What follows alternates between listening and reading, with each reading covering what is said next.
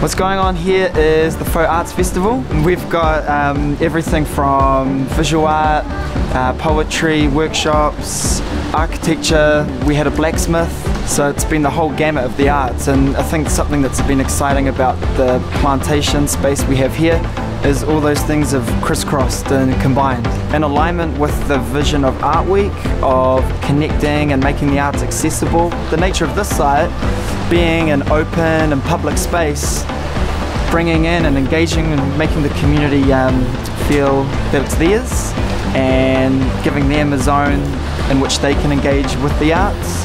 So that alignment, yeah, with that Art Week philosophy was something that we also felt passionate about for us, this event is about tilling the soil um, and make, you know, making that fertile ground.